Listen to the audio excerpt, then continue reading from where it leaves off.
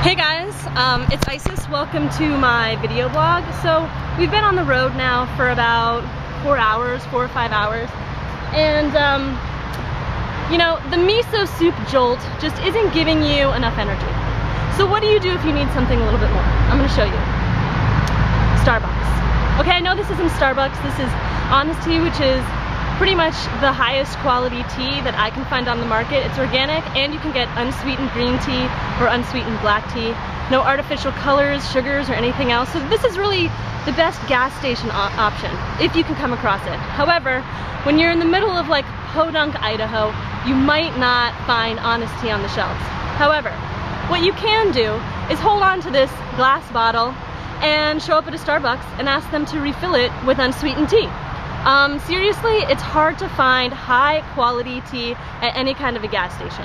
Read the labels, friends. High fructose corn syrup, sugar, additives, caramel. At that point, you might as well just have a soda. I mean, what's the difference, okay? So if you need an extra jolt, refill the container. It's, you know, and, and plus it's like, it's so good for the environment to reuse.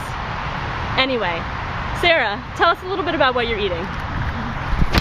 Well, speaking of finding high quality food on the road, that's probably one of the biggest challenges of getting all the nutrients that you need um, trying to shop in convenience stores. So what Isis and I did was we prepared some steamed broccoli this morning.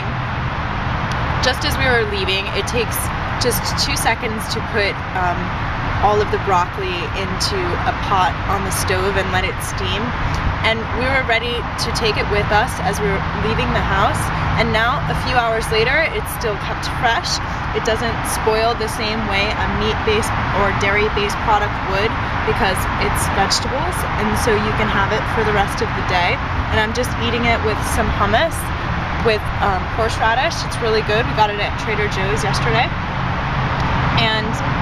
has your protein in it you're getting delicious green vegetables and what else could you want on this wonderful, beautiful day in Virginia?